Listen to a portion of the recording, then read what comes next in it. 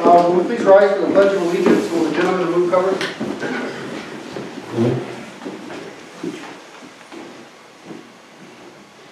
I pledge allegiance to the flag of the United States of America and to the republic for which it stands, one nation, under God, indivisible, with liberty and justice for all.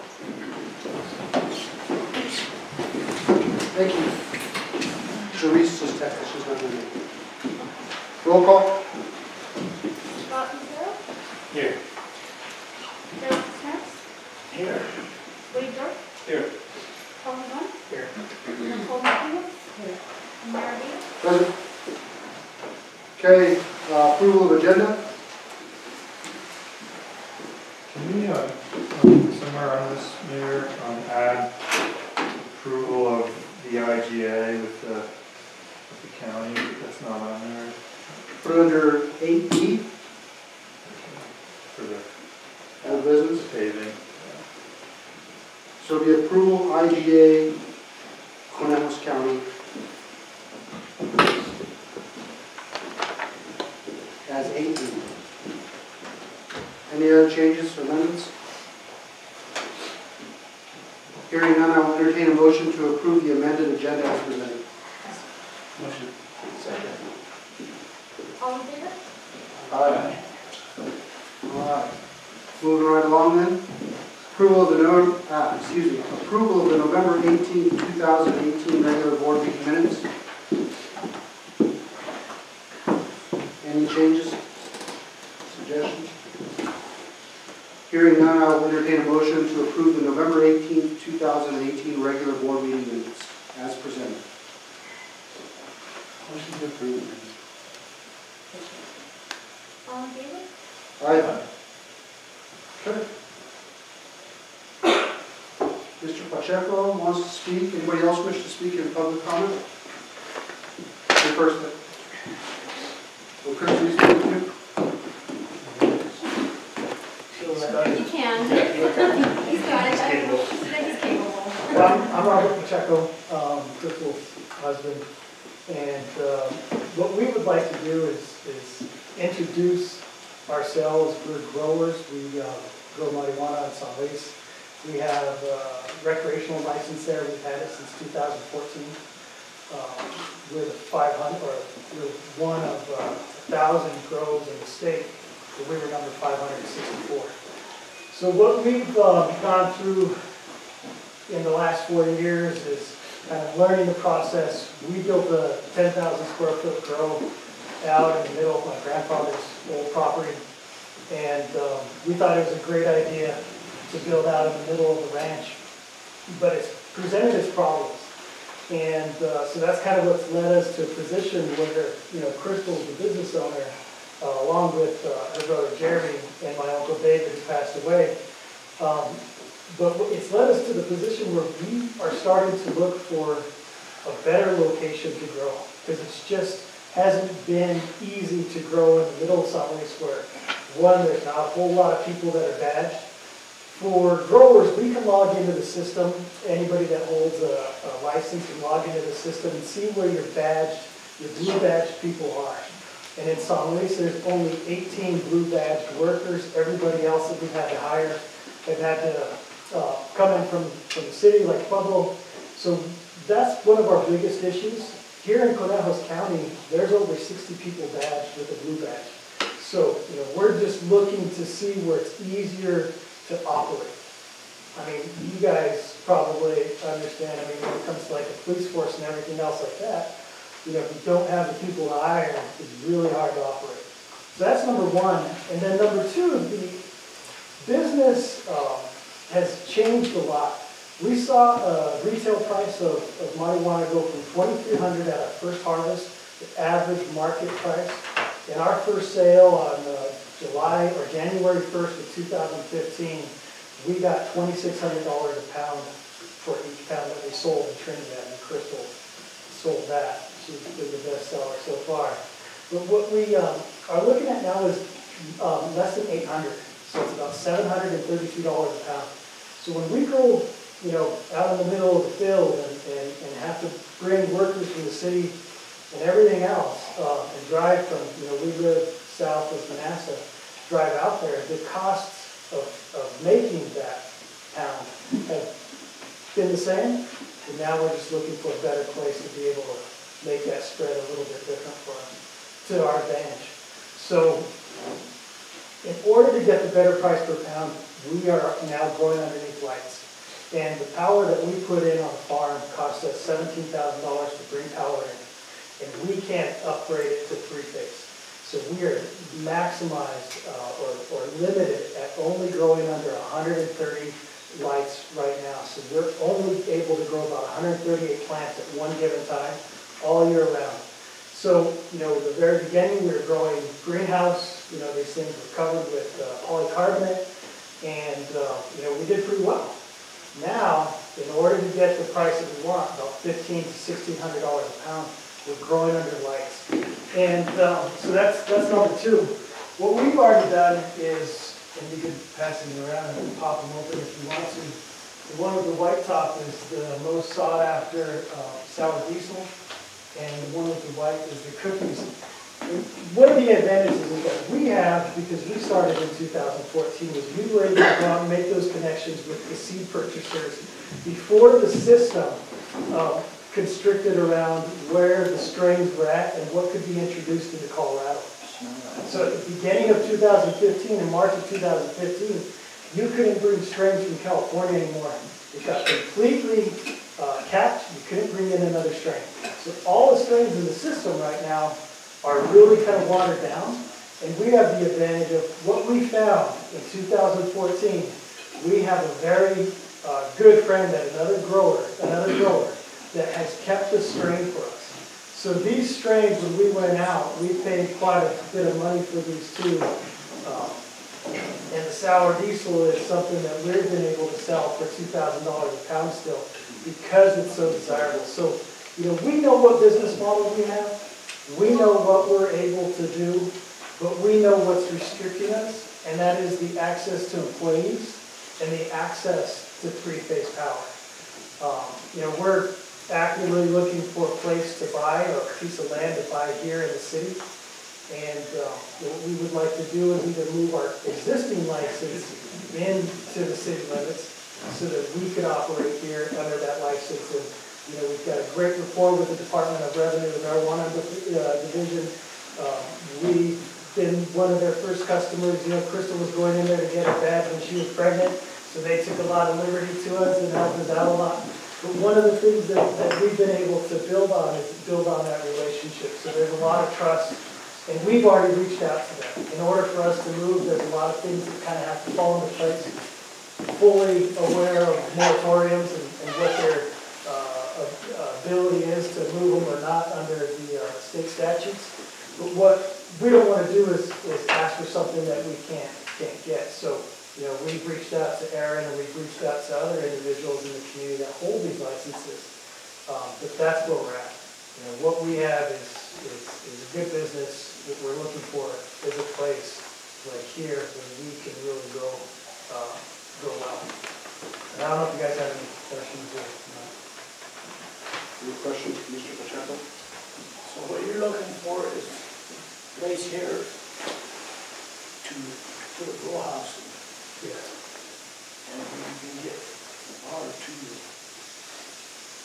What we've been able to do, because it's so cold at night here during the summer, is we've completely cut out all of our air conditioning. We've gone through three years of growing in, in, greenhouses, and we had to cool them, we always had to run swamp coolers and everything else. This last year, we grew indoor. And just by putting the lids on those greenhouses and, and covering them one hundred percent and insulating them, um, we saw pretty quickly how we were supposed to grow, and it's a great environment to grow with lights. Because you don't need any air conditioning, you don't need any dehumidifiers, and every piece of that three-phase power that you're purchasing is going for growing. So nowhere else in the state does anybody have a night as cold as us, other than in Durango. But the Durango's, uh, you know, licenses are capped already, and it's too far for us, we don't wanna drive over there. Do you have a place in mind or? We do, we do. We've been looking at the piece of uh, property across the street from the freeway. Um, But we've also been talking to some property owners and checking to see if they'd be willing to sell behind the old Salazar piece right next to the um, Pedeastro. You know, we're just, we're just looking for a great place to put it. Well, I I will reach out to the three current license holders, and uh, if they're okay with me sharing information, I have your number, Okay. and I have all their numbers, and if they're okay, I've already reached out to one of them, so you've been in contact, I'll reach out to the other two, and if they're interested, uh, I will give them your numbers? Yeah, our renewal for Vista Buds isn't until the, um, it isn't until July twenty-seventh, two thousand eighteen. So we have a valid license until then. What we would like to do is use this time between now and then to use our good reputation in order to either, one, transfer the license because then we can operate as soon as the building's built, or two, work with the local, uh, existing license and come in and purchase one of the operator's licenses. And uh, as far as we understand, we could probably get one of those operator's licenses within thirty days. So, I mean, that'd be a great opportunity for us, but ultimately, you know, we got into this business to be owners, and we would like to remain so. How far do you have to be from the the next closest road? There is no limit. So there's no danger, all females are good? Um, Well, we're indoors, so I mean, e- even though. Aren't you leaving the roof open though? No, Oh, okay. I'm No, it's sorry. completely closed, and then what we have is, is uh, multiple intakes at the bottom, and they do have carbon filters on both sides. The inside, I misunderstood, did you open the roof at night? no, we just run the air at night so that we suck in the cool air. Gotcha. How many people do you employ? So for each greenhouse, which is twenty-five hundred square feet, it takes about three guys to work that, and you end up with six harvests a year. So for each greenhouse, uh, I mean, you could, you could probably, you know, cross-train a couple people, but if we were able to build the same size that we have in San Luis, we would be around fifteen people. And it's just that, that's, that's different.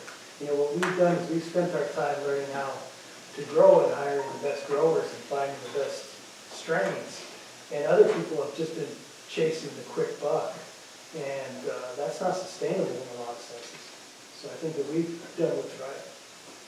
For us anyway. Any other questions? Are you basically looking to build from the ground up? Is that, is that your intention? It'd be nice, 'cause I like to build. They're just looking for a license. Yeah.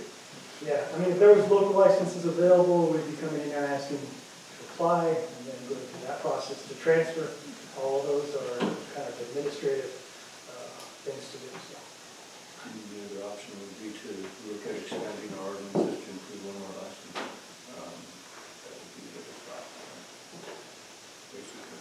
If if that's the Pandora's box you want to open, maybe. One- One thing that Just bringing it out in the open, that's all. one thing that we did with San Luis, because they ended up with a moratorium uh, at the end of uh, 2016, um, was they had, I think, a total of seven licenses, and there was only five operational, ours is one of them.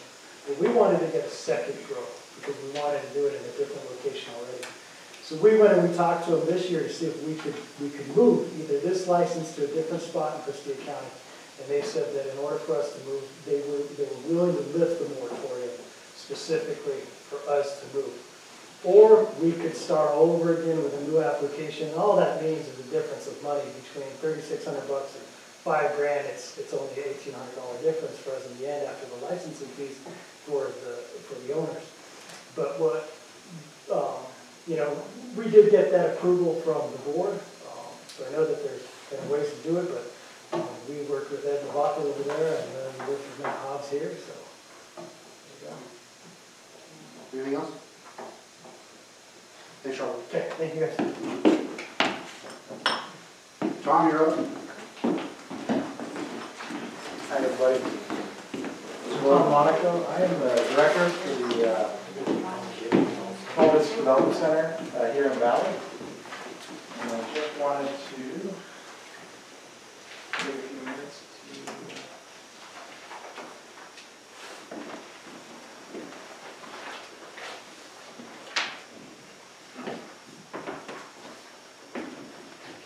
So I don't know how many of you are familiar with the SBDC uh, here in the valley. For the Small Business Development Center, we're funded federally by the SBA, and then locally by uh, counties and municipalities here in the valley. We cover all six counties. Um, We provide no-cost small business assistance um, to anybody who needs it. So we do everything from business planning to expansion, uh, acquisition, uh, helping with with funding, uh, helping people develop, uh, you know, find capital. Um, But we also uh, really want to work very much with the towns in the county. And so one of the things I think is we're, we're a valley organization, but I think we've been very much perceived as a Alamosa-centric organization, because that's where our, our office is. Um, And we're trying to change that narrative. Uh, We're trying to make sure that we are accessible to uh, the small businesses in the communities that they, that they're in. Um, And that we're also sensitive to what it is that those communities need. And that's the, that's the key, that's why I'm here, is to make sure you, you guys know who we are.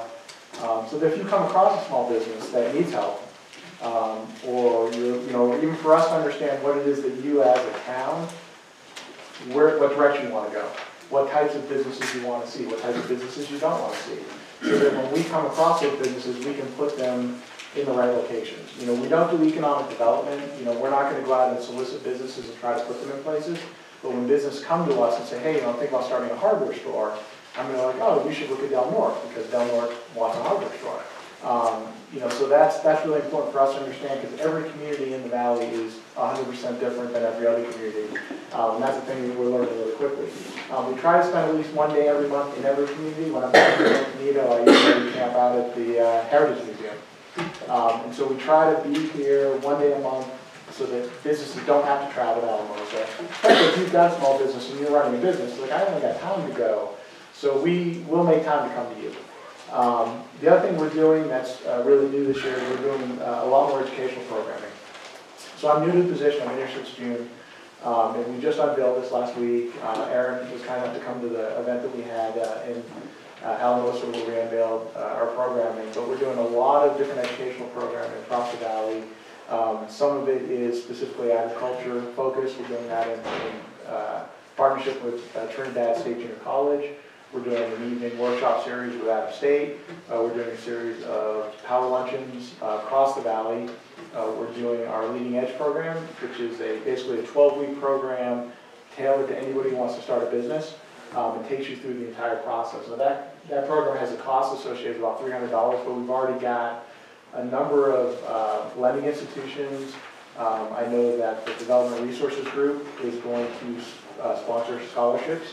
I think First Southwest Bank has said that they'll sponsor scholarships, and then I just found out today that REC and Cielo is also going to sponsor scholarships. So if you know of small businesses that can use that program, there's money available to underwrite those, because we don't want that to be the barrier for people getting the help that they need. Um, So we just want to make sure you guys uh, are aware of us, um, that, that we are a resource.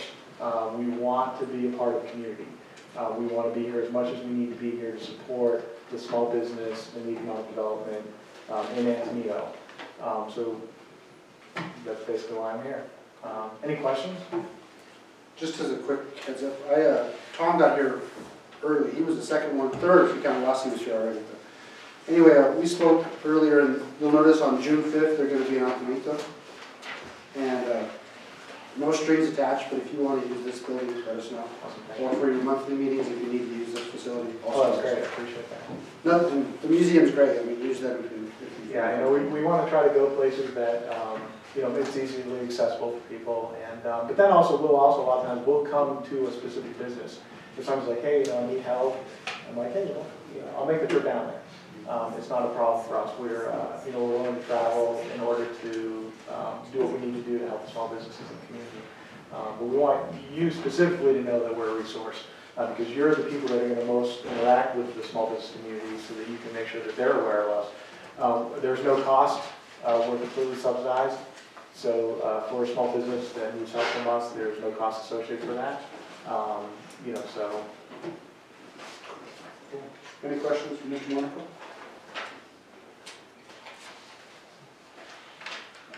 I have his contact information, obviously he's given it to us as well, so if anybody needs it, uh, reach out to me and or the board members, uh, we'll get in touch with you. awesome, great, thank you very much, I appreciate it. Appreciate you. All right, moving on. Uh, Seven B, discussion action on public hearing for liquor license renewal for the Dutch Mill Tavern. Uh, Everything in order, Steph? Yeah, this is fine. I think there's a month, Yeah. Chief's not here, but does anybody have any problems or issues? Okay. Well, I'm gonna open up the public hearing at five fifty on December thirteenth. Anybody wish to speak in favor of or in opposition to the liquor uh, license renewal for Dutch Tavern? Hey, chief? Is chief available? He's in the restroom. Uh, Sarge, Sergeant, has there been any complaints about uh, Dutch Tavern or anything that we need to be concerned with as a board or community? Um, no, every time we do bar checks or if they have dances and stuff, they've always been real cooperative. So Yeah, you're- other than a couple of calls that we've had, but nothing really to complain about. Okay. Does have any questions for us? Um, Questions for the PD? All right, well then, that lasted all of one minute, so I'm gonna close the public hearing at five fifty-one. And, um, any discussion from the board? I will entertain a motion to either renew or not renew the Dutch Mill Tavern's license. Motion to renew. All in favor? All right.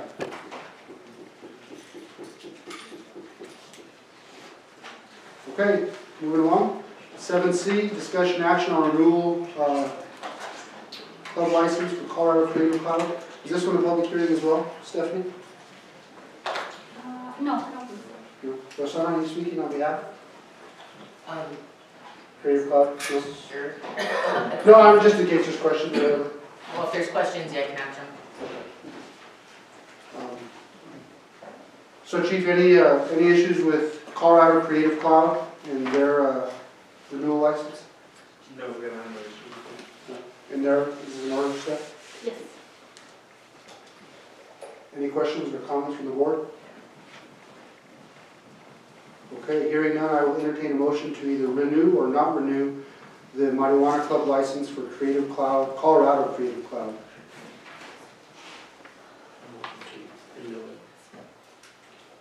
Second. All in favor? Aye. Okay. We are on to seven D, discussion action on special review for pronounced clean water regarding the variance setback. Uh, So Mr. Rosenberg and Mr. Trujillo are present. And Mr. Rosenberg gave us a handout a little earlier. That's right.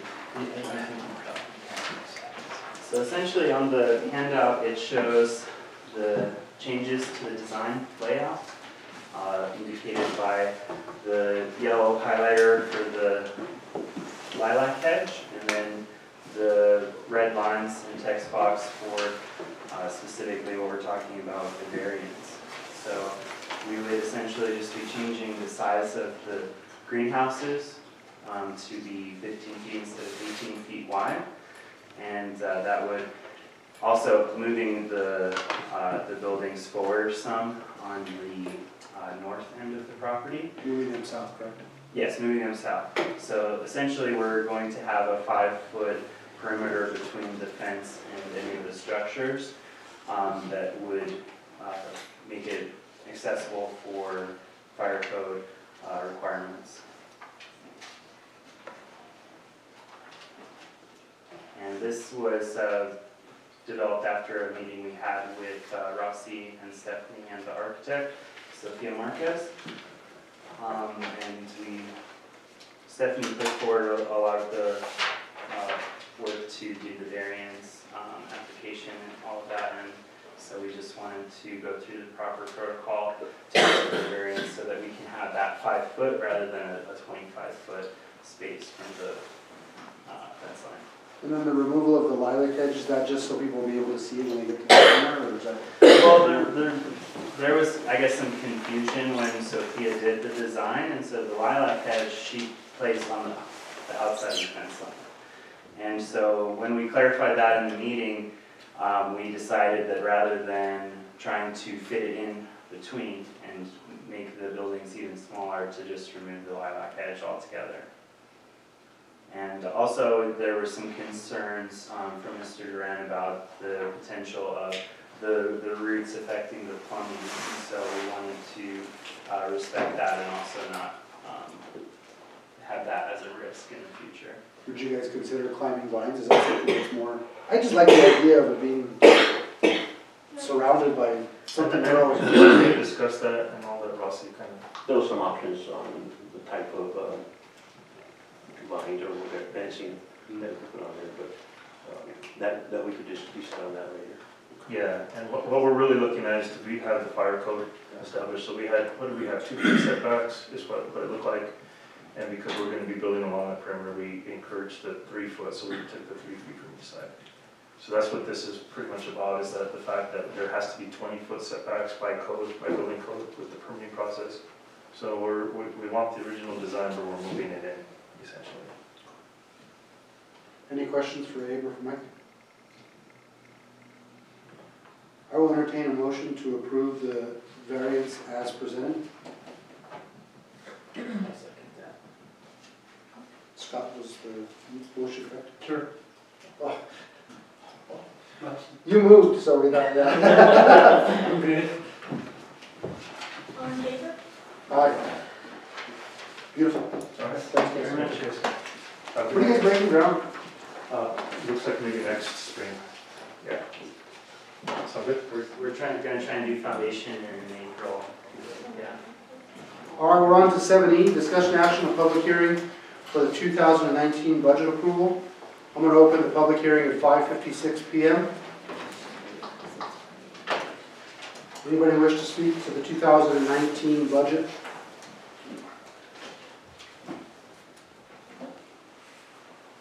Going once, twice. Another one-minute public hearing, five fifty-seven PM, closing the public hearing. Any discussion from the board?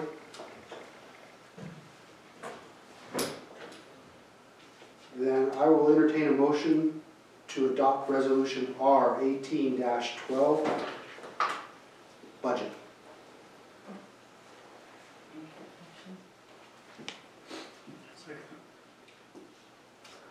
All in favor? Aye. Any discussion on item E two, resolution R R eighteen thirteen? Hearing none, I will entertain a motion to adopt resolution R eighteen thirteen, the appropriation of sums of money.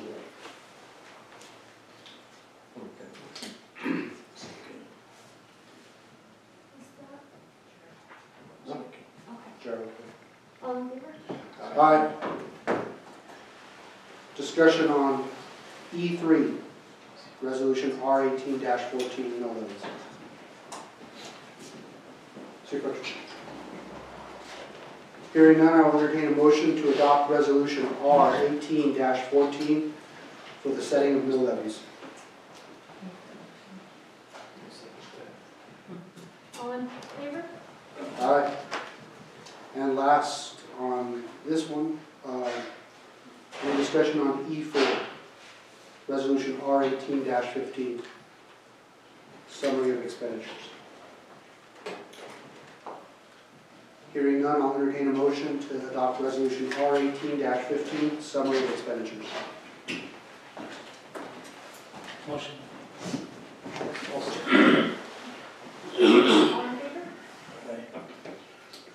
I'm an I too, sorry. Okay, E five. The salary proposal, which was amended, uh, Rossi brought to our attention that the minimum wage changes now in twenty nineteen. So we got a different, uh, a little bit of a different salary proposal that was sent by email. You all have a chance to take a look at it? The corrected one, yes. Because of the federal minimum wage change. State, state, state, state, state, I bet. And that takes effect 1-1-19, correct? Yeah. So that changed our, uh, budget proposal a little bit when we went to the workshop. Any questions or concerns?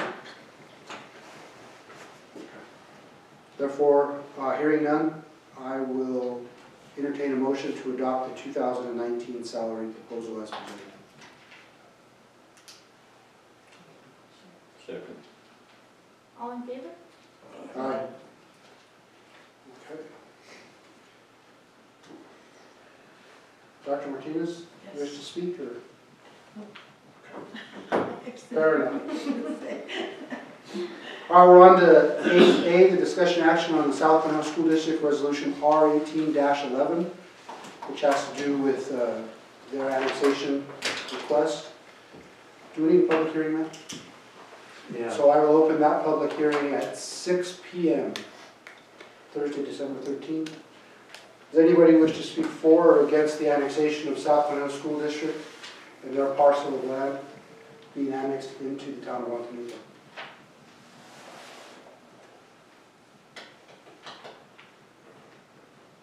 These are really silent. Are we gonna pass it? Well, I was, I- when we get to the discussion, I'm gonna, um, so fast forward a little bit. We, I'm, I'm gonna recommend that we not vote tonight because their attorney and our attorney have yet to actually find a time that's mutually uh, beneficial for both of them to meet. Uh, They need to work over the proposal that Dr. Martinez brought to us last month with the state statute, what was it, Matt, do you remember?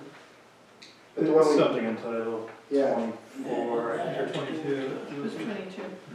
yeah. With the, Well, they, they wanted to negotiate on an MOU, they also wanted to introduce that state statute. And uh, their attorney and our attorney haven't spoken yet. So I wanted to open it up to public hearing to see what the public sentiment was. And then either take a vote in January at the regular meeting or propose a special meeting so we can get it in our rearview mirror, as whichever's up to the board. on that, on that, on that issue with the, with the liability insurance, there are, the way I understood it, the school is willing to let us use the building. All they're asking is that different individual groups that use it have liability insurance. I don't think that's out, out of hand, and I, three hundred bucks, they could raise that with their fundraisers that they have. Yeah. They Well, sell, um, they sell t-shirts for thirty bucks and stuff, I mean, I, I don't, I don't disagree with that, but I think we took that off the table because there was two private parties that agreed to donate money towards the liability insurance. can And, we, can, we- can we remove that off the, yeah, it was removed last month, that wasn't one of the negotiation things. So the two negotiation things that the school presented were the state statute, and they wanted the omission of the MOU. And then Matt wants to discuss the possibility of an easement and/or a right-of-way, I don't know what the proper term is, so that in the future, if the need presents itself, we can build sidewalks. I, I, I will address that. So, the, um, there are two issues, as you mentioned. The first one was, um, to include the, the twenty-two, which really addresses that we're a public entity, and we also have to follow those guidelines. But I don't, um, we also have to follow the, the town, um, and that the easement or right-of-way would fall under that, under the town guidelines. So I don't think that there would be a conflict there. Just something we gotta put in writing. Right, and then as, um, uh, Mr. Cisneros said, and I didn't hear this clearly at the last meeting, but I'm glad to hear it tonight, that that, um, the petition, the uh, MOU for usage would be removed from the petition. That, that was your request, and It was my request, uh, yeah, I appreciate that you, that you addressed that and that it will be removed. So, at this point, I think the, um, my attorney was in depositions today, but she said she would call you tomorrow, Mr. Hobbs. She said she'd call me tomorrow. Yes, he emailed me this morning. Oh, shoot, super. So the, the two items that, and I did, I did, um, send an update to the board regarding the sidewalk. Uh, As I expressed to you uh, in our communication, uh, we look forward to sidewalk. Uh, we- Our kids are walking down the middle of the road to get to school and we, I mean, we want safe passage for children. So, yeah, we would, uh, welcome any sidewalk that you would, um, decide to put in. And so, and then, so the other, only other item is that you include the portion where we are a public entity. Thank you. thank you. Anybody else wish to speak? I'm gonna close the public hearing at six oh four, six oh five, and, um, we'll further discussion. So, Matt may correct me on this, but I understand there are three options in front of us. Vote, yea or nay. Wait for, uh, Matt and the school's attorney to have uh, meaningful conversation, hammer out the details, and then vote either at a special meeting or in January, that's option two. Or option three, we vote to approve or not approve contingent upon uh, the agreements that we've all spoken about, the statute 22, the MOU, and now the right-of-way for the potential for sidewalks being hammered out at a later date. Does he, That's option three. do you think we ought to wait till a different meeting, or do you think we Yeah. should, we can go ahead and vote on it now? I think it's probably better to iron out these details for both parties before, before you vote on it. Um, That'd be my recommendation, is just table it and, um, you know, So then as part of the discussion, if, if I make the motion to table later on, then we, we can, that's the way to go. Are we open to a special meeting, or do we want to just address it in the January meeting? Just to address the January meeting. So I just want to take the tenor of the board on that. Um, I will entertain a motion to take council's advice and table the vote on resolution R eighteen eleven, the annexation of South Conejos School District property into the town of Antonito until a January twenty nineteen regular board meeting. Motion to table. All in favor? Aye. Thank you, Dr. Williams. Thank you. All right, moving along. Uh, Mr. Cordova, are you speaking, or your daughter speaking, or shall we just move ahead silently? Well, I've got a couple of things I. Please do that, yes.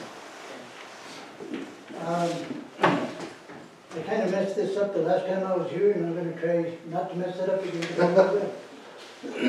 Um, We're trying to, uh, we want to petition the town to annex into, into the town. And I need to point out one important thing here. We want to do this in two parcels. I want to do the whole fifteen acres, or fifteen and a half acres, whatever it is, there south of the Salazar building. Uh, One of the parcels, of course, is, we want to put in a service station, truck stop kind of thing. Uh, But we, we have a couple of things going on that uh, are of uh, great concern to me. Number one is the, the easement into the property itself. We've been working with CDOT, we've got a permit with CDOT.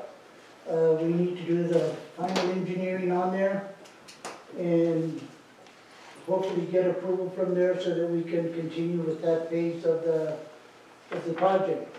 However, it's a very pricey project, uh, in regards to the, to the road situation.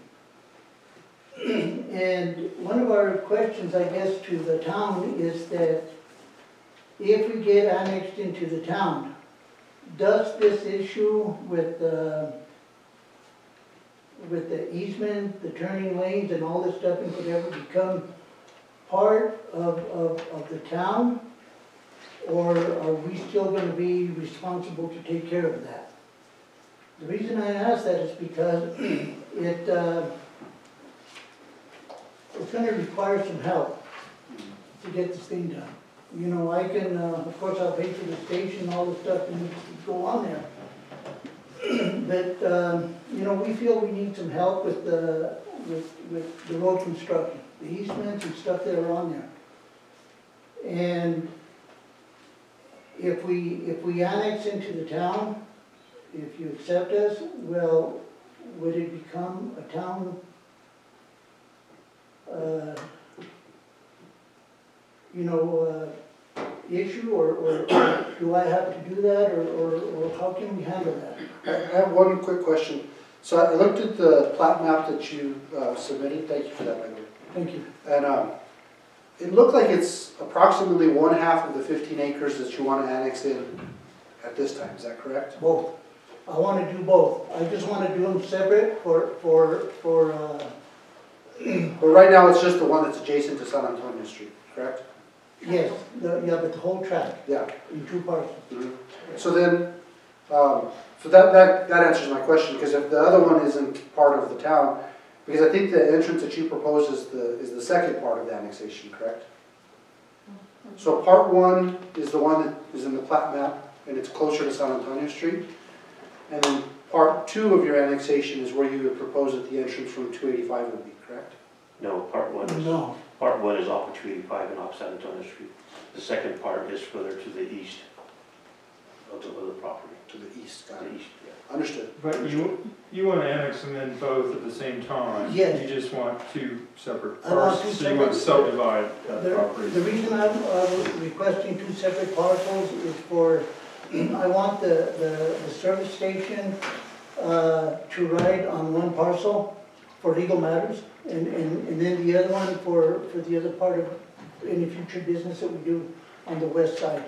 But we, we're, we're requesting annexation on the whole Understood. fifteen acres, I don't know. I saw that bold line around just half of it, so I thought you were doing it in two different transactions. I misunderstood. Uh, CDOT did request that we move the, the, the site to the south side of the property to allow more room for, for the turning lanes and all of that going in from San Antonio Street. So therefore, all the engineering that we had done at the beginning there was tossed out the window, I still pay for it though. And I still have, to- and then I have to move the building south and kind of get started all over again. So, you know, it's just that, that, that we kind of need to go, know, uh, I'd like to know what we can do to address this thing with the road before we even go any further. Well, I don't think we, Uh, We want, we, we, we'd like to, excuse me, I'd, I'd like to, uh, you know, request help in, in- you know, we talked about getting grants and stuff and whatever. But my, my, my, my point is, once we annex in there, is it handed over to you to, to, to take care of it as, like the town? Or do we still actively continue doing this? In other words, what you're asking is, is is the town gonna, um, deal with CDOT or, or, or do you still have to? Is that what you're asking? Or is it to maintain the road? What, what CDOT is requesting is that there's already an existing problem at the intersection of seventeen and two eighty-five. That already came up on our studies and everything. Uh, however, CDOT holds the position that anybody that wants to do anything in the vicinity is responsible to fix that problem. So the problem's there, and they're requesting me to fix that. yeah, so Okay, and then going south, uh, well, obviously, we need turning lanes, you know, to, to, for the safety of, of of everything. Uh, That's one of the reasons we moved, uh, the, the access point to the, to the site further south. Well, I know that, that- here's what I do know. If you're part of the town, then the town can apply for energy impact funds to, you know, for rural economic development, which your station would bring, right? And then we might be able to put that towards the entrance which you have outlined, right, just to the south. Um, If you're part of the town, obviously you have leverage and this board and this body can help you with negotiations. I don't know that the responsibility transfers solely to us, but we would definitely be partners in it. No, that's not what I'm implying. I'm, I'm, I'm, I'm.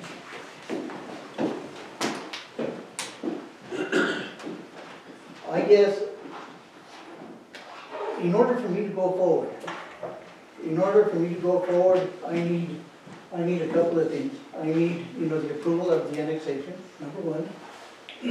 Number two is, and not necessarily in that order, I guess, is to resolve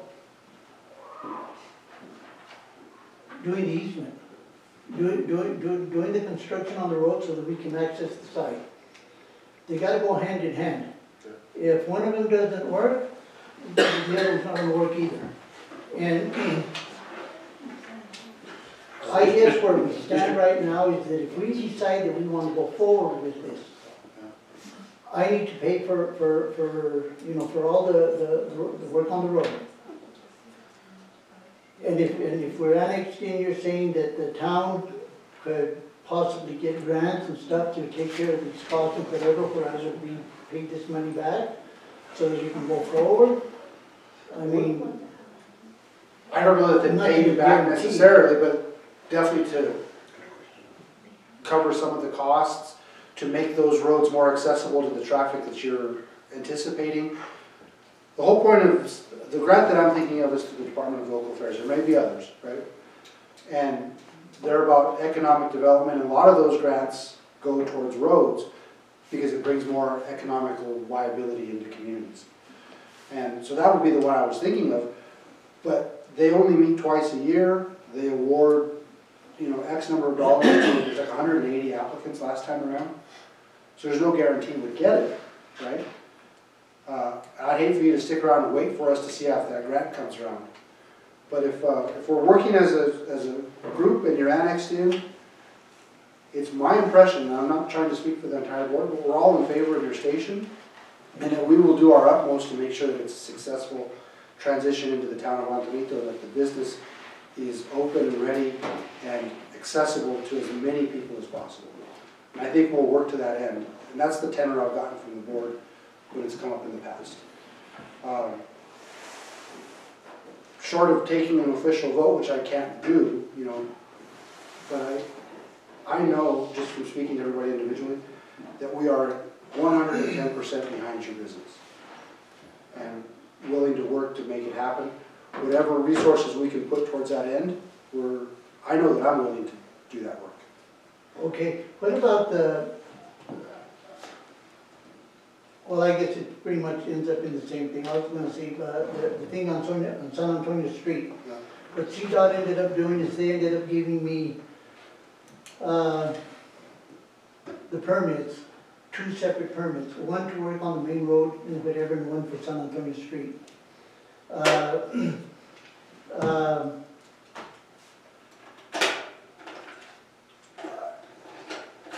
You're gonna need, I believe, a permit to upgrade Antonio Street? Yes. So you could use that permit itself right there. You don't need to grab a second one or whatever. You could use that one there. And when you and I spoke uh, individually, whenever it was last, I think Zenaida was with us as well, uh, you had indicated that parallel to 285, there was a tract of land that was part of the town of Antonito, or, That's, that's what we, that, that- that's what I believe, because we saw, I had seen that on a map somewhere after speaking with, um, uh, you and I called it a frontage road. Frontage Road, Martin Reynolds, he says he believes that that is actually part of the state highway department. Is that correct? The, the frontage road ends on San Antonio Street, and it goes all the way through the entrance to the narrow gauge, um, depot, It's only on this side. correct, yeah? Yeah. There's nothing. to See, it's the only on this side So because it the other terminates at part, San yeah, the other part would have been in, in the town, in the. Yeah, because that was one of the things we we're thinking, maybe just widening San, remember we spoke about widening San Antonio, and using that tract of land to make a roundabout, so we Yeah, not even use the entrance further yeah. to the I side. think, I think that, you know, uh, we, we've kind of gone back and forth with the engineer on that, and one of the issues that we see there is that the turn, uh, would be a little too sharp for multi-axle trailers and stuff and whatever. Even if we widened it and made it. Yeah, still, I, I think it'd be, uh, it'd be, it'd be challenging, and I think that that, that in itself would take away from truckers trying to come in. But you need more than anything else for, for, for, you know, like what we're trying to build there is easy in, easy out. We need, we need to do that, and that's the reason we're proposing the other one further down there. Okay, so, so if, if, if we set that aside, how, how would we know, how long will, will it take for us to know if we are gonna be annexed into the town? I would imagine the February meeting at the latest. It's usually about a two to three month process. The person to ask is sitting right over there. She's gonna tell you it takes six months, but, uh, once all the paperwork's in order, it's about a two to three month. So this petition that you submit tonight and the plat that you submitted tonight would move forward, would have a public hearing. Uh, would have to notify your neighbors, uh, or is that just Flag, Flag Lennox? Yeah, Just the flagpole annex? just the flagpole items. Can I ask you a question? Yes, sir. What- What's CDOT requesting you do for seventeen and two eighty-five, the intersection there? Uh, uh, a turning lane for one, going west. They want a turning lane. Then they want for us to, uh, widen uh, just on the other side of, uh, of, uh, the intersection there. There's some guardrails and some signs that kind of seem like they come up into the road. We need to move those off the way, move them further back, so that it opens the, the whole corridor more to the, to the west. So there's gotta be a turning radius there, I mean, a, a turning lane going south. The one coming from the, from the west, we believe is sufficient. We don't know until we actually meet with them. From our uh, preliminary drawings and and sketches that we've done, you know, for, for, for trying to acquire the permit, uh, it, it, it was okay at that point in time. Well, basically, there, I mean, I know it's not necessarily legal, but there already is a de facto turning lane there, right? People that turn left, everybody that's going towards Las Mesitas and Cañon, they just go around on the side and then they merge back in.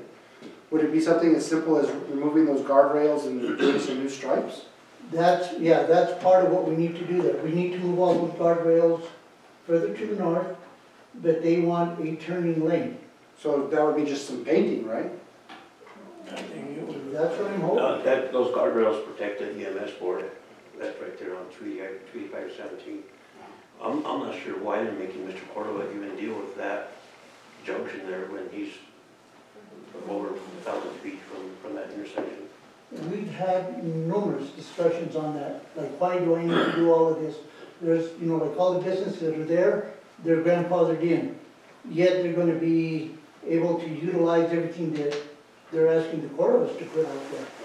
But- You're shouldering the load of everybody because you want to innovate and put a new business. Well, I. I, I, you know, the whole thing is that, that in order to, to, to be comfortable, safety is gonna be the number one thing there with trucks and everybody coming and going and whatever. And I'm willing to do whatever my share is with, without blinking an eye. It's just that some of the, the, the stuff that they're requiring is kind of like, well, you know that that problem is there, but their policy states that, you know, that whoever needs to do stuff like that is the one going to be responsible for it. And therefore, you know, we kind of figured, well, you know, if we're gonna go forward with this thing, it's something we can't, you know, we're not gonna go out there and try to change policy, you know, it's a waste of time. Well, I think once you're in the town, uh, I don't foresee any hiccups to that, but once you're as part of the town, uh, I know that this body has a little bit more pull, no offense to the Cordovas, to get those things No, done. I know, I mean, well, we just need to get as many people on board, is all I'm saying, we just need, you know. And I, I think we're willing to exert that pressure as a board Okay, to make sure that this project happens. okay, so at this point in time, I guess we just wait for, for annexation? Yeah, we need to approve his petition. Are, are you, are, I guess, are you wanting to move forward with the annexation with the understanding that we don't really know what is gonna be worked out with, between CDOT on this issue and you and us? I guess that's,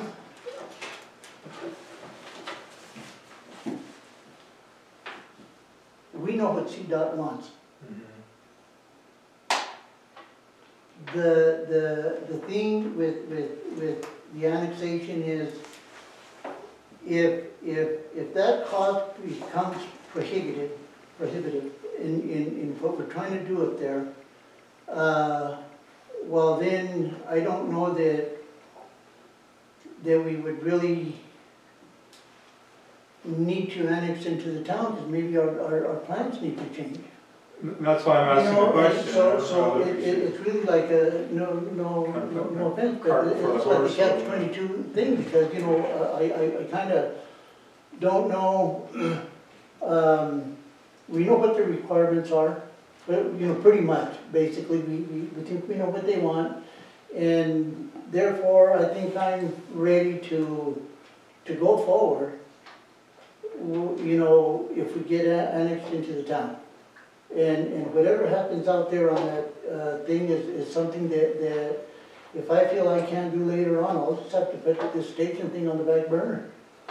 Till, you know, a later date or whatever, I just, I I, I just wanted to put everything together so know that I can go forward with it. To me, I think it's, it's not ideal, but I think worst case scenario, at least in the interim, we widen San Antonio, people utilize that as best they can for the time being, while we work on this other issue with CDOT, and then we add that entrance post-construction. That would be my worst case scenario for how this would work with your Which, annexation. which entrance, the one on the south side? So they would use San Antonio as, as an entrance, and then they do sort of a roundabout to pull into the pumps, and then they would also exit on San Antonio. But, so it wouldn't be an immediate turn into the station, they'd come in on San Antonio, they would go down for what, 60, 70 yards, they would turn roundabout and they would exit closest to two eighty-five. And then that's something that we could work on in the interim, and then while we're doing all the bureaucracy stuff with uh, CDOT, you could be working on your construction, you could be making some money, seeing how the traffic flows with that particular plan. Maybe we don't need that other entrance, maybe it's absolutely positively true we need it and we still, we're working on it. I- think working on the CDOT entrance may be necessary, but I don't think that's the deal breaker, I would hope not anyway. I think that we could utilize San Antonio Street, at least in the interim, see how traffic works, and then work on getting your access on two eighty-five further south. Then would it be safe for me to say that, that, that if CDOT, and if I recall, um, Martin said that the, the, the, the permits that they're issuing can write on their own. So that being the case, would it be safe for me to, to say that, that you will go ahead and use that permit to, to, to to upgrade San Antonio Street? I think that's something we all want. It's Okay. not a discussion or a voting item tonight. But I think it's safe to say that, yes, but I can't officially No, no, say. I understand that, I mean, just consensus. But if it was an action item to widen San Antonio Street to make access to your business more accessible, my guess, I can't vote for the board, obviously, to speak for them, my guess is that we would vote for it. Okay. I guess we go ahead and- mm-hmm. Yeah. Mr. Cordova, one of the things that, the, the way the town maybe will help with the south access is if you dedicate so much, a strip of property there for a street. And we could name it Cordova Lane, and then when it comes back out to San Antonio Street, call Cordova Boulevard. Then we could apply for a ramp grant to CDOT, and that might be to cover the, the cost of that access right there. That's a possibility. We'll do whatever Yeah. it takes to make it happen because it's something our community needs and it's good for our community. On, uh, on that plat that we, that we, that came by, we have, uh, I believe, uh, uh, designated access for the utilities. Right. However, that one does not match up with the entrance that needs to come into the station, because the, the entrance for the station, we want to set it up where the trucks will be able to drive straight into the canopy underneath the fueling station. I don't know if that would create a problem. As far as putting an easement through there, I don't have an issue with any stuff like that. I I think the only way we'd, we'd be able to apply for a grant on that if there was a street there. So you might have to move it further to the south, We can't go further south anymore. they can. We went as far as, as- till we hit Mr. uh, The hills, the Hill's property. With- We started on this side and we're over there already. We can't, you know, Because all we need is twenty-four feet, roughly, maybe thirty feet. And that would just be on the, South side, up up against the fence? yeah, and then it come out to, back to San Antonio Street.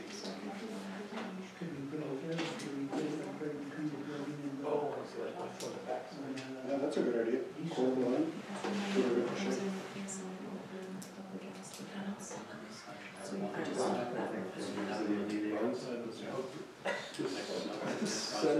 We, we, you know, we, we can yeah, I look into think we that. can do that. I think we can do that. I You have my promise that I'm gonna help. Okay, therefore, we, we want to petition to, to go into, into the town, I guess. Well, I think you can start the process, but, you know, there's, it seems like there are a lot of details to iron out. It'd be helpful for everyone to sit down outside this sort of setting to, you know, because it's, pro- you know, probably an hour-long, at least, conversation. and Start ironing out what's happening, because I'm still a little confused myself. You you know, obviously, more than I do, because you're more- more involved, but Or we can accept his annexation petition tonight. you can start the process, sure, there's no harm doing that. I will entertain a motion to accept the Fred Cordova petition for annexation to survey into the Antonito, town of Antonito as Antonito Fuels. So, so I, I drafted a resolution Mayor, which is the way to kind of start the process. Um, so it would be a motion to approve the resolution, um, um, trying to find it. You, you didn't get it? Send both at the same time? Yeah. Two attachments.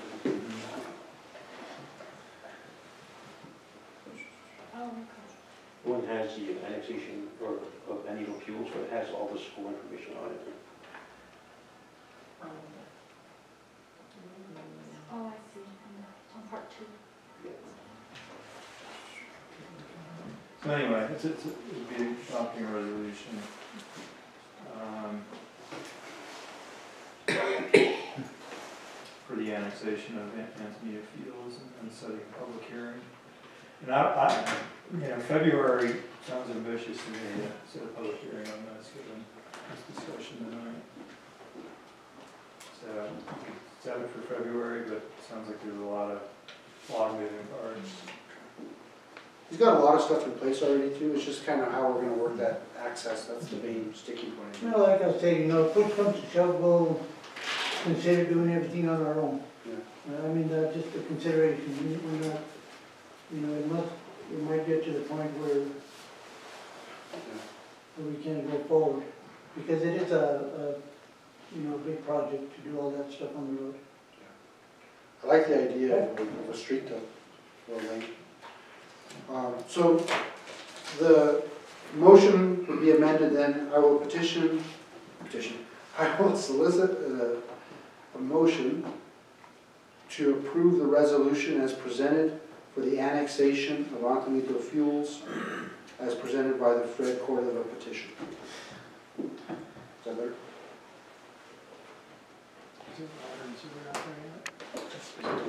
Anyone want to make that motion?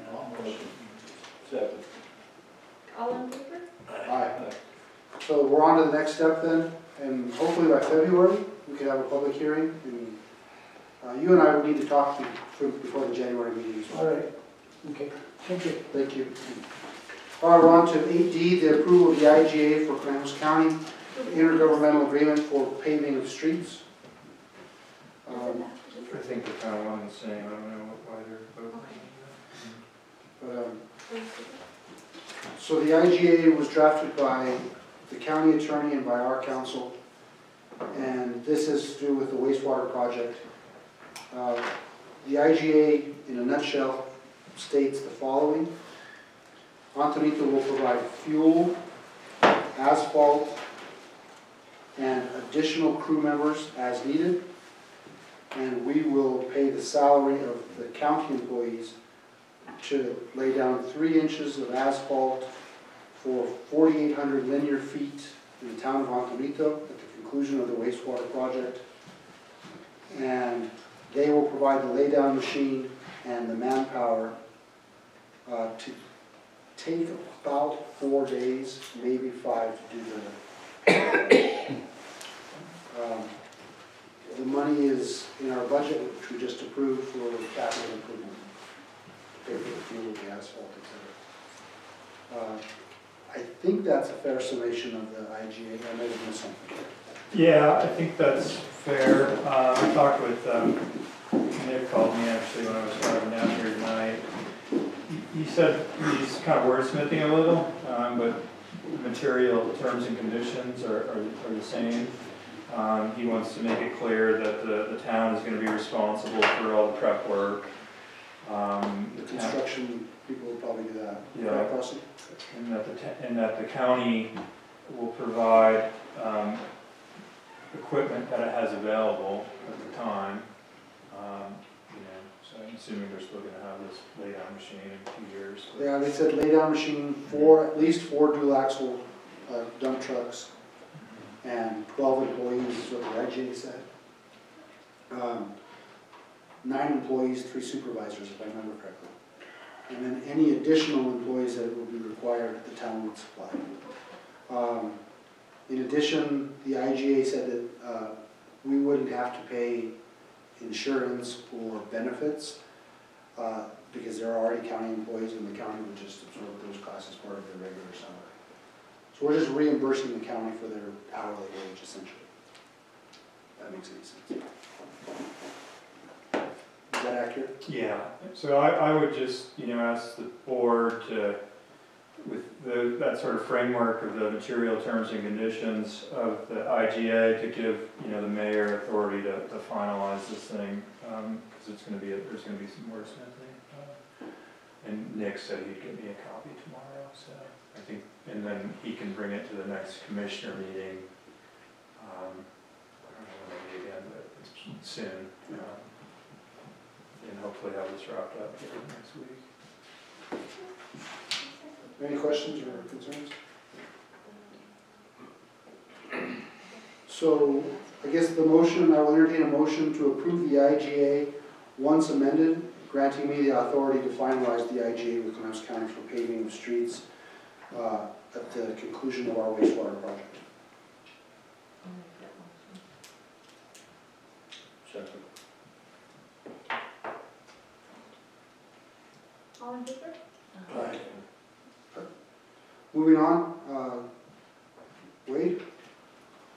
Uh, Housing has a request uh, um, to our PD that if there's uh, uh, any contacts made on any of their properties with any of the tenants, that they be made aware of that in case uh, there's a situation where they need to take some kind of action as per their residence and whatnot.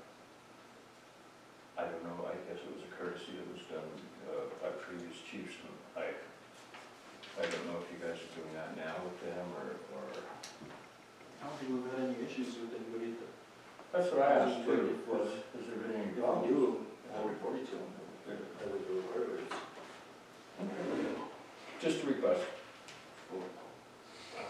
Oh. So, yeah, we'll, we'll take care of that. Okay, thank you. That's it. Cool. All right, we're on to nine C, uh, discussion action on approval of the October eighteen reports and AAP. Any questions on the reports we received last? Month? I will entertain a motion to approve the October eighteenth reports as presented.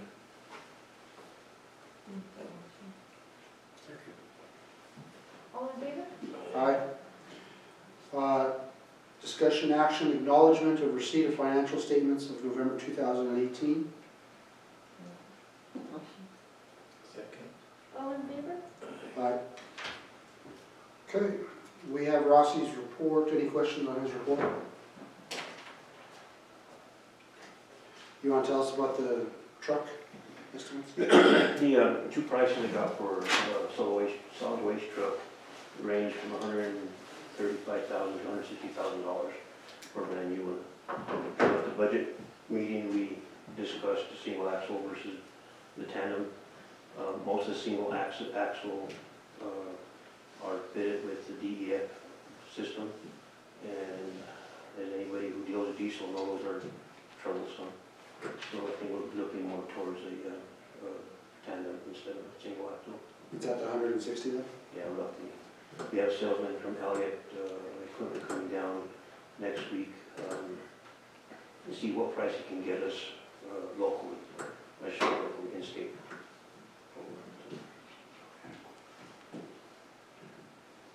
So the discussion action is to move forward with shopping or approving purchase of? Well, we can approve them to in cost of, Yeah, so just move forward with investigating further. yes. Any questions on the solid waste truck?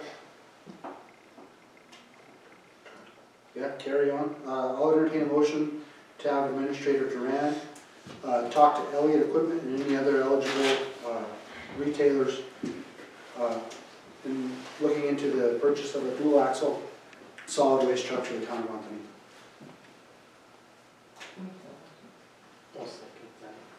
All in favor? Aye. And maybe we'll have a proposal at the January meeting. All right. So, uh, I don't know exactly how much time Rossi and Stephanie have accumulated. I can guess that Rossi's is upwards of hundred days, just because it has been always. Um, And it's one of those things where we've, in the past, bought the vacation time back. I think it was, you remember Scott, or Wade, was it twenty-five dollars a day? Uh, Was it thirty dollars or something like that? something like that. Um, And so the discussion on D two is whether or not to buy back the vacation, unused vacation time for Clerk Trujillo and Administrator Duran. Now, do you have a specific number of days? Eighty hours it says. Is that for both of you, or is that just Rossi, or? No, that would be for both of us. Um, Eighty hours each? Yes, so, uh, I don't know what Rossi's comments are, but personally, I, um, I always prefer to use mine. But just with the move here and the different projects that we have this year, um, if we don't use them, we can only carry, um, hundred and sixty over on the books, and we lose them this year. Every year I've always lost a few, not a big deal, but this year I think I would probably lose about ninety if we don't. I just don't, we're near the end of the month, and still a lot to be completed responsibility for myself, so, um, just something consideration. You all know I don't encourage it, and I never have, but it's either that or lose it. What do you guys cap off that, One sixty, one sixty, one sixty? yeah. And Rossi's is way more than I think Rossi's gonna, still even with fighting back that eighth release, He took probably a hundred. two vacation days this year, that's the reason it's snowing. Right. I think he took two, I think he took two. Um, So it doesn't happen very often. No, this will be the second time we've done it, in- at least in my tenure. We did, Stephanie always uses hers, but she didn't this year. Actually, everybody uses their vacation except for Rossi. This is the first time Stephanie has. It's called a dedicated employee. You were doing it. You were doing it. So, um, the discussion would have to be how much per day? I think it was twenty-five dollars per day last time, I think. Uh, we can look at the minutes and we can say, hey, this is what we did last time, and based on the last one, we can make a new proposal. Um, When was the last one? like three years ago, or Mm, four years ago. longer than that, It- I was mayor, but that was early in my first term, probably Five. yeah, about four or five years ago. Probably. Vaguely. That's why I don't remember the amount. I don't remember how much we gave.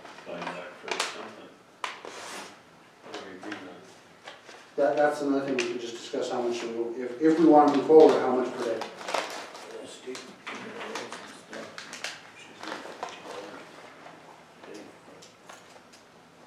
Last time you gave them, what, thirty? I don't remember, that's what we don't remember. Uh, But it was, I think it was about thirty, it could have been 25, 30. Nobody remembers clearly, without checking the minutes. You suggesting fifty, is that a motion? Yeah. So trustee Cisneros has made a motion to buy back the vacation time for Clerk Trujillo and Administrator Duran at fifty dollars per day, Just the eighty hours each. eighty hours each, as presented. All in favor? Aye. So we bought your whole day for like two hours of work. Okay? Yeah. Anything else for, uh, for Administrator Grant? On his report or anything else? Yeah, anything else to offer? Everything's going good with that report, what you said about the, that pump that went out. Corey? Yes, yeah, we've been monitoring it now, and, uh, we, we did have to order some backups, so it's Is that why you're out there at eleven o'clock on Sunday? Eleven o'clock at night, mind you. I was coming back from Alamosa or something, and there goes Rossi to the, it was like eleven o'clock at night, I figured something had happened, that's what it was. All right then, uh, chief, you're up.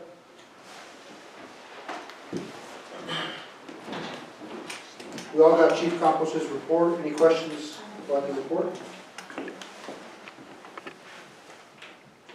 I know there was a shots fired call in there, and I thought you knew one question, so I put in there, that, that was one of the dogs that I got shot on that one. Who did the shooting? Um, there was the people that were in the apartments, I know Officer Montoya was working that case, so. So it was, a- it was a private citizen that shot somebody's dog? Yes. So, I know he's, uh, he's working it right now, he hasn't told me if the charges have been filed or anything yet, I know he's working on trying to interview him and everything. What were the circumstances for that? Was it, was it dog vicious or? I guess they told him that they thought that dog was gonna attack him, so. But I don't know if he got to interview everybody at the residence yet, or what's going on. I haven't seen the charges yet, so I don't think he's filed charges yet. And he went downstairs now, so.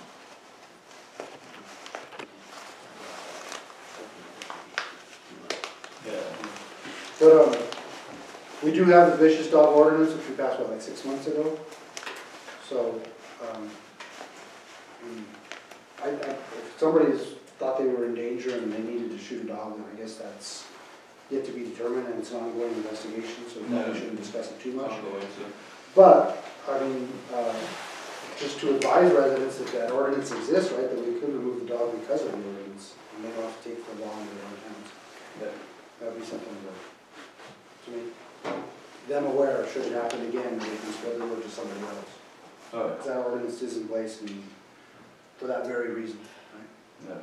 So if a person feels that they're being threatened by this dog, we can do something about that? So when did you pass the ordinance, were you on board? When we passed the ordinance, the vicious dog, yeah? So I think it's just one offense and the dog can be removed. Uh, Yeah. That's the way we, Best way to defend it, probably be take it to San or something like that. Yeah. Get the dog out of here, so. Drop it off in San Luis. well, they have the shelter over there. Oh. That's why I sound like. Yeah, but We have the, we, I don't think we took any animals there this year, in the past, we had an agreement with the shelter over there. for strays. Still getting complaints about strays. Uh, Yeah. One in particular, uh, I guess there was a dog fight a day or two ago. And I think there was an officer response to that, I I believe Officer Cortland. Uh, I'm not sure. Uh, Officer Cordova? Cortez. Cortez rather, Oh. sorry. Um, Just, just wanted to mention that. I don't, I don't know. If, I- if I hear ten things, I'd say seven of them are about dogs. Yeah. And uh, I We know, need, we need to figure out a way to transport dogs, those well, we have a trailer now, Like a trailer, yeah, truck. and it has a a canopy which goes over the top. Why can't we- And we have kennels, Why can't we get, make a, makeshift cage that fits inside the trailer? that's what, I said. we already have kennels, oh. or we had. The reason we couldn't transport them in the past is because, well, you know this, right? We just, we can't put them in the police vehicles in case somebody's allergic to pet dander. Yeah, I love also got in that big old lawsuit and everything because of that, because somebody was allergic to, to dogs and stuff. So we have to transport them in a non-PD vehicle. But now that we have the trailer, and we have the kennels already, that's a potential way to move them to the kill, sh- no-kill shelter, excuse me. But who would do that? I mean, who's responsible for? Well, we, uh, about four months ago, you recall, it was a split vote, but we voted for an enforcement, a code enforcement officer. And uh, it apparently fell on deaf ears, it Now, you and I voted for it, I think it was four to two, or whatever the vote was, but, um, I think that's something we need to consider. And maybe even advertising for that code enforcement officer, even if it's part-time. Put in part-time for somebody. So, uh, and it's already on the books, we already voted on it, so I think that would make it, uh, wouldn't take PD's time for having to go off to San Luis, it wouldn't take our already diminished crew time for doing the work here in town. Yeah, that's what I'm gonna take more, because they're busy. They'll be limiting all the vehicles that are parked next to the road that for, that he brought up Oh, yeah. last month for street sweeping. So I think, that- I think we're ripe for that. Well, we're working on voted the, on on the vehicles, I know I got rid of the van over there in Main Street, and they'll put everything in the back, but. And that would be some code enforcement, could you guys can give out these notices and stuff. Yeah, so please do, uh, post it and then we'll form a hiring committee. Okay. If it's part-time, then we can maybe uh, relegate it to the administrator, but if it's gonna be a full-time position, that's something we need to determine. Maybe that- So how do you want me to put in the admin, just part-time for now then? Uh, I think we approved it full-time, him or her full-time, that's the way we did it, uh, but uh, is it a full-time job? That's the question I'm asking. Well, I mean, there's always Lori back at night, doing the yard stuff, taking care of the junk, weed ordinances, Park cars. park car ordinances. Yeah, so I would, I would put it in as, as a full-time position. I think that's what we approved. So confirm with Stephanie and check the minutes, but I'm pretty sure that's what we approved Okay. for the code enforcement officer. I'm sorry, I was No, that's fine. I don't know how many months ago, but we approved a code enforcement officer. um, And just to confirm with you whether we approved it as part-time or full-time. Well, actually, the- that's what you wanted, but the board agreed that they were wanted a third officer. So there isn't. And that third officer is supposed to be responsible for code enforcement. Or a, a summary of the. Hmm. Well, that's where we need to look at the minutes, because the way I remember was a third officer and a code enforcement officer. Either way, we need to have somebody take care of the codes. Could you have? Yeah. Well, So they've been confer with her, let's jive on the minutes, and then we'll go from there. Okay. And the reason we haven't taken any over there is because they've been busy, we're busy, they don't have enough, already had, let somebody go take the dogs and stuff, so. No, it's tough, I, I, I don't, it's a long way to go some weeks too, Oh, yeah. so. Any other questions or comments for chief? Thank you, All right. Thank you. Uh, we're on to discussion action on purchase of a police unit with invoice for such. Was that in your report too, chief?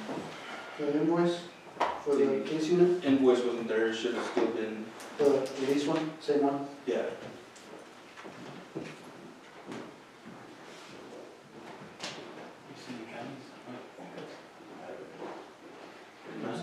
Any discussion on that, uh, They don't lease have unit? anything, you know? Yeah. These just for one inmate behind the passenger? When I, Do they come from this okay, side to this so side? I have Bars on that. accomplished this Oh, with really? the Uh, board. they're So moving, that I they can had start somebody putting else numbers put and it see in. what all of them Oh. tell with their Getting contracts, from- et cetera, or policy or something. Oh, And that's why I'm asking Holden's house I'll to check it see out. if it's just the one that he have all the different options. So I don't know which option we're planning to decide to go with either. We just decided to go with the. The lease purchase. Didn't decide which one either. That's a good place to build it. This, chief? No. So clerk says she needs you to be, uh, present an actual specific cost, a specific vehicle lease term. So you've kind of given us the broad picture, and that's the one we agreed on, we're gonna go with the lease purchase of one vehicle. So she Yeah. wants you to find out what the specific costs are. uh, Okay, were we gonna go with the, I thought we were gonna go with the Durango. But she just needs you to say, hey, one Durango, this is what it's gonna cost us. Just send over that lease purchase, because I think there was a six options on the email, so if we can just. Yeah, there were a bunch of different ones. Which specific option, package, If et cetera. Them separated from the email or just in, print the docs and send them to me, whatever. Okay. So that I'm not having to sit through all of them. All right, I'll send you everything for, the it's the Durango, right? I think that's what we wrote upon, was a four-wheel drive, and Okay. just as long as you give her specific numbers so that she can start Okay, I'll send you. negotiating and sending tax ID numbers or tax exempt numbers to the dealership, et cetera. Okay. Is that accurate? Uh, sir? uh, The guy was supposed to come, uh, have the finance company give me a call, and then I was gonna give all the information to her. Yeah, so let's proceed with that, and then, uh, I will entertain a motion to table this until the January meeting, to such time as the sales rep can get us a very specific invoice for a clerk Trujillo to work off. Is that okay? Motion, motion table. Is there a second? All in favor? Aye. All right, on to Matt. Uh, you hear back from Big Truck? No, um, yes, it says, I think I sent it to all you guys, I filed a copy of the complaint in federal court, um, Big Truck is now the star in Big Truck rental. These cases have a way of winding on slowly for years. Yeah, they don't wanna pay, so, yeah. Um, so, you know, it's, it's, it'll be a long, drawn out affair for sure, uh, but yeah, I haven't heard back from them, they have, they have thirty days according to that notice I sent them to accept the waiver of, of service of process. Um, Usually people accept those waivers because it, it gives them additional time to file an answer. Um, Navistar was served today or yesterday, I didn't even send them a waiver, so they were served.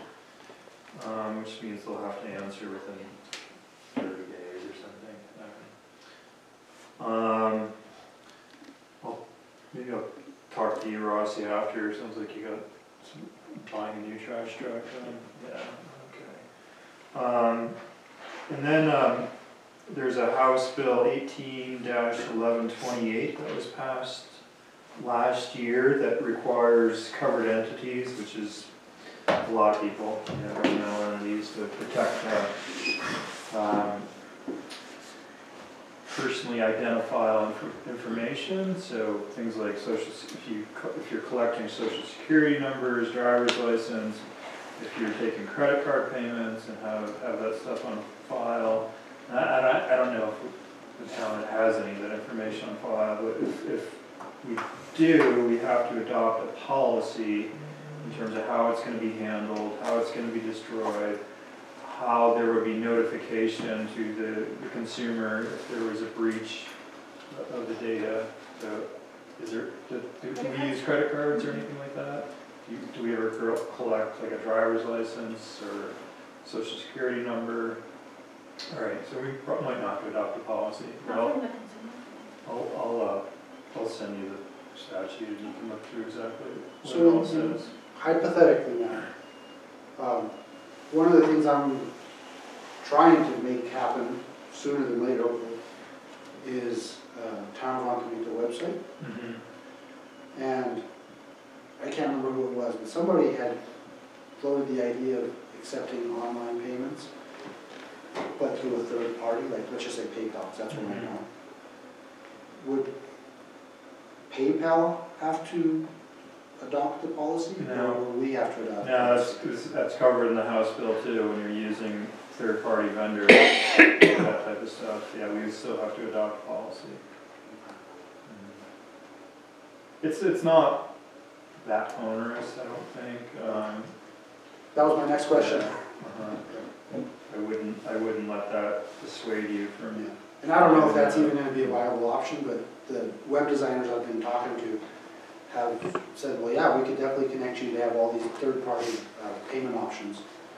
People to pay traffic tickets on. yeah, I mean, Monte Vista has one for their, their water and sewer right now, which, you know, you can set up auto payments and, um, it's pretty common. Okay, anything else, Smith? That's all I have. Did you wanna see us in executive session? If the board feels the need to have one, I mean, I don't, I don't see a need. He had, he had asked if we wanted to uh, go into executive session to discuss the annexation and the negotiations therein. The annexation was South Canals. Uh, But I don't know if we need one, it's up to you guys. Just giving us the option to close and run. All right, anything else then? That's all I have, thank you. Uh, I just have a couple of quick announcements and then I promise to adjourn. I am traveling to Denver, probably, not probably, I'm leaving Sunday evening for a meeting with Colorado Department of Health on Monday in regard to the CFC.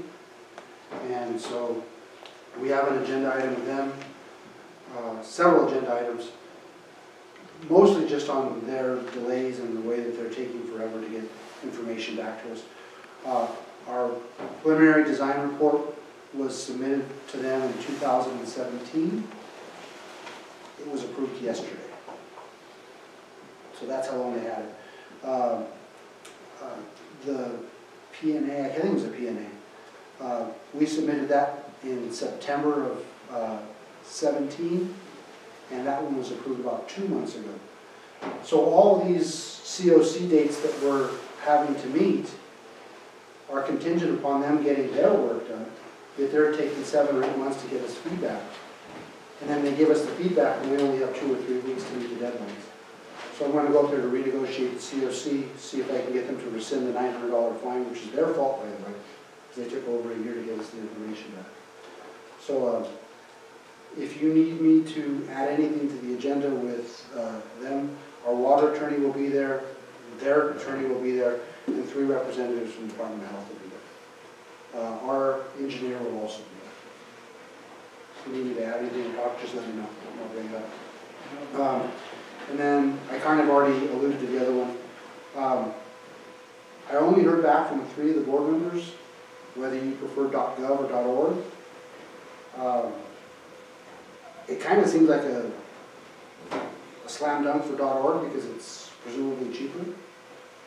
But um, I don't know if having a .gov and that extra four hundred dollars a month protects us in any way. Once I know more, I'll let you know. Um, That might influence how we If you looked at, um, DOLA has, I've noticed some of small towns especially have websites under DOLA now.